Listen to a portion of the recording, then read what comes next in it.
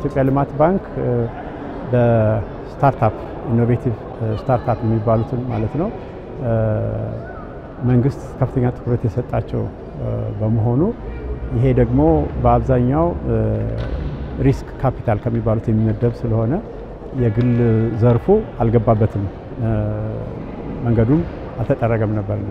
ሁለተኛ ባንኮችም ቢሆኑ በዚህ ደረጃ የ innovative startup ን finance የሚያደርጉበትን መንገድ አልተዘጋጀም። ስለዚህ ይህንን መንገድ የማዘጋጀት የመጀመሪያ የሰራ ነው። ስለዚህ የመንግስት የወሰዳቸውን initiative ኦች መሰረት አድርገን መጀመሪያ የ idea financing ዳይሬክቶሬት አቋቋም።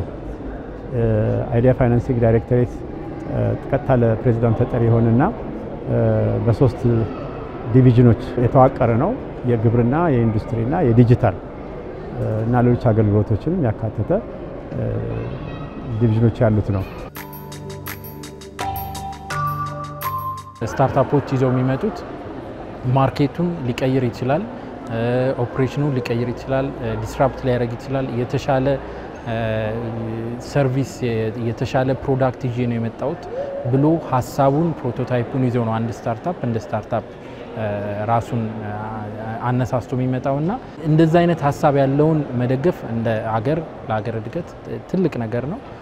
አሁን ያንን ደግሞ በህግ ማዕቀፍ የራሱ በደንብ operate ሊያደርጉበት የሚችሉትን ህጎች አሁን እየመጡ ነው። ስለዚህ conducive የሆነ environment create እየተደረገ ነው።